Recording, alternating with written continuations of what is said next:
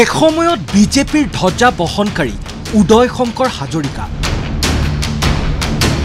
বেয়া দিনত বিজেপিৰ কৰ্মীক একত্ৰিত কৰি ৰখা লখিমপুৰৰ উদয় শংকৰ হাজৰিকা। ভাল দিনত বিজেপি এৰি কংগ্ৰেছলৈ আহিল সেই উদয় শংকৰ হাজৰিকা। একেটা দিনতেই এ আই ডি এফৰ প্ৰতিষ্ঠাপক হাফিজ ৰছিদ আহমেদ চৌধুৰীসহ পঁয়ত্ৰিছগৰাকী অধিবক্তাৰ যোগদান কংগ্ৰেছত।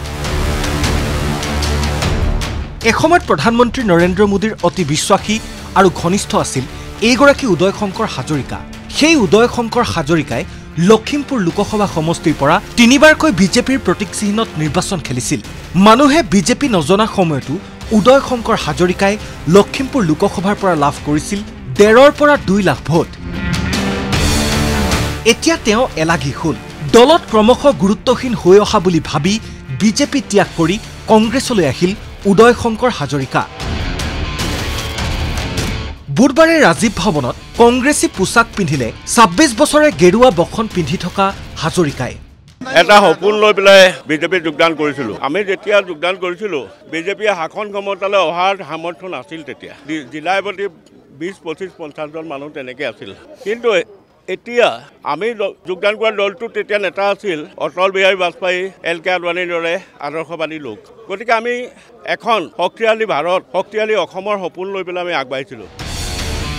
নীতি আদৰ্শহীন হৈ পৰাৰ বাবেই বিজেপি ত্যাগ কৰাৰ কথা উল্লেখ কৰি হাজৰিকাই ক'লে। কিন্তু এতিয়া দেখা গ'ল যে বিজেপিৰ এই আদৰ্শ নাই আৰু বিজেপিৰ প্ৰকৃত যিখিনি পুৰণি মানুহ সেইখিনি বিজেপিৰ সেই ঘৰটোত নাই। সেই ঘৰটোত চাইনবৰ্ডখন বিজেপিৰ লাগি আছে কিন্তু মানুহখিনি বেলেগ। বিজেপিৰ সেই আদৰ্শ পুৰণি আদৰ্শ থকা মানুহ এতিয়া সেই দলত নাই। ইফালে একেটা দিনতেই বৰাকত এ আই ডি এফৰ ভেটি শক্তিশালী কৰাত অন্যতম ভূমিকা লোৱা এ আই ডি এফৰ প্ৰতিষ্ঠাপক জ্যেষ্ঠ অধিবক্তা হাফিজ ৰছিদ আহমেদ চৌধুৰীয়েও যোগ দিলে কংগ্ৰেছত। লগত গুৱাহাটী উচ্চ ন্যায়ালয়ৰ পঁয়ত্ৰিছগৰাকী অধিবক্তা। মই ঘৰত ইউ ডি এফটো জন্ম হৈছে ইউ ডি এফৰ ৱাৰ্কিং প্ৰেচিডেণ্ট মই আছিলোঁ।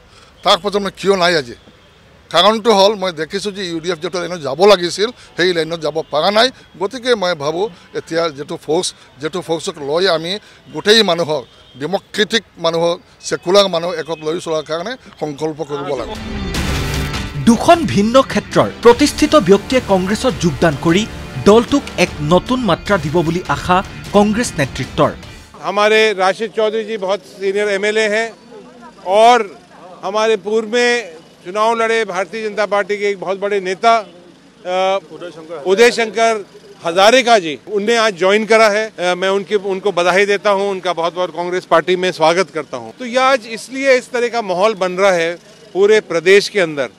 जिस तरह का आज करप्शन हो रहा है जिस तरह का पूरे प्रदेश के अंदर धर्म के नाम पर जाति के नाम पर राजनीति चल रही है लोग आम आदमी परेशान है। কিন্তু এই দিনটোতেই ৰাজীৱ ভৱনত ঘটিল এক অনাহুত ঘটনা।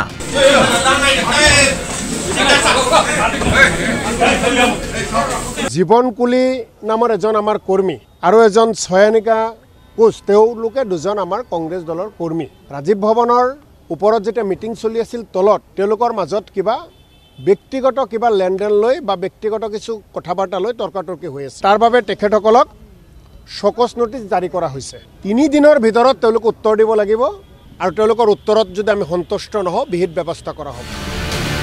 যোগাত্মক আৰু ঋণাত্মক দুয়োটা দিশৰ পৰাই দিনটো চৰ্চাত থাকিল কংগ্ৰেছ। এনে উত্থান পতনৰ মাজতেই এ আই চি চিৰ সাধাৰণ সম্পাদক জিতেন্দ্ৰ সিঙে চৌব্বিছৰ বাবে অসম কংগ্ৰেছে কেনেদৰে সাজু হ'ব লাগিব তাৰ বাবে দিলে দীক্ষা।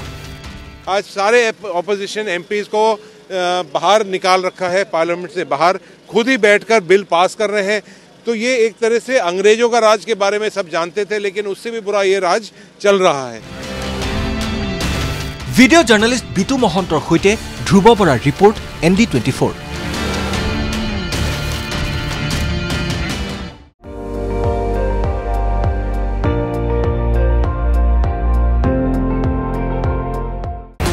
আপুনি চাই আছে এন ডি টুৱেণ্টি ফ'ৰ। সৰ্বশ্ৰেষ্ঠ নহয় সৰ্বোত্তমৰ দৌৰা